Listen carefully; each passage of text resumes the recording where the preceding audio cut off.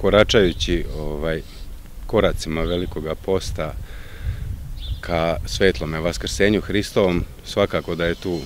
plejada tih praznika prelepih koji nas ovaj, okružuju i koji nam u stvari prave jednu stazu ka najsvetlijem i najradosnijem prazniku Vaskrsa, a među njima jeste i, kako ste rekli, upravo Lazareva subota, dan eh, Vrbice kada u našim svetim hramovima proslavljamo događaj Svetoga pisma, kada je gospod naš Isus Hristos došao u Vitaniju gde je vaskrsao svoga prijatelja četvorodnevnog Lazara iz groba i zatim krenuo putem svoga stradanja u Jerusalim gde će na Golgoti biti razapeti e, gde će na Golgoti biti razapeti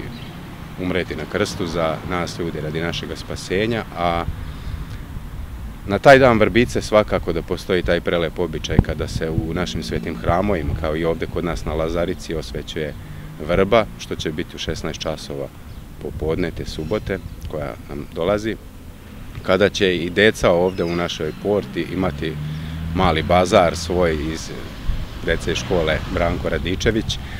ovaj, gde će prodavati svoje rukotvorine, svoje ovaj, ručne proizvode ovde svojim, da kažem, bakama i dekama i našim parohijanima koji ovde dođu i kada taj dan čujemo onaj radosni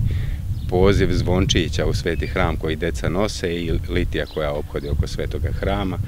simbolizujući upravo onaj događaj koji se desio na sutrašnji dan eh, te nedelje koja nam dolazi, ulazak gospoda Isusa Hrista u Jerusalim, kada su isto tako mala deca grada Jerusalima, zajedno sa svojim roditeljima, zajedno sa svojim bakama, dekama,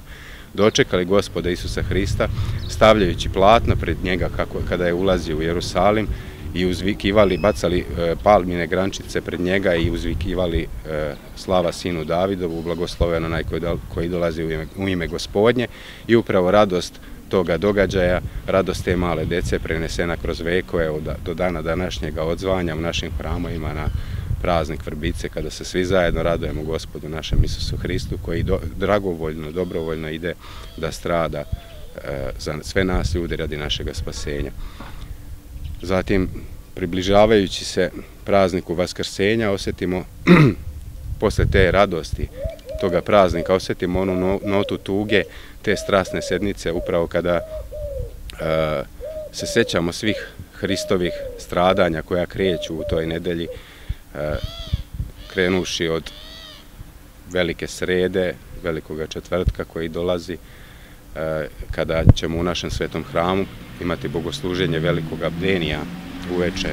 u 18 časova, kada se čitaju 12 strasnih evanđelja koje opisuju podrobno taj krst koji je Hristos preuzeo na sebe to stradanje veliko kao bogo čovek ponizivši sebe do mere naj, najnižega čoveka iako, iako Bog po prirodi bogo čovek e, dozvolivši da se desi to što se desilo kako bi pokazao preveliku ljubav koju je imao prema rodu ljudskome i veliki petak kada je gospod naš Isus Hristos razapet na krstu, kada ćemo u našem svetome hramu u 17 časova izneti svetu plaštanicu pred vernike koja simbolizuje skidanje gospoda Isusa Hrista sa krsta, polaganje njegovu kasnije u grob, kada ćemo obhod u noćnim časovima ovde u 21 čas će biti plač majke Bože u 22 časa će biti statije na veliki petak, kada ćemo posle toga obhodom oko svetoga hrama pokazati simboliku onoga momenta kada je gospod Isus Hristos položen u grob, gde je u veliku subotu, kako kaže,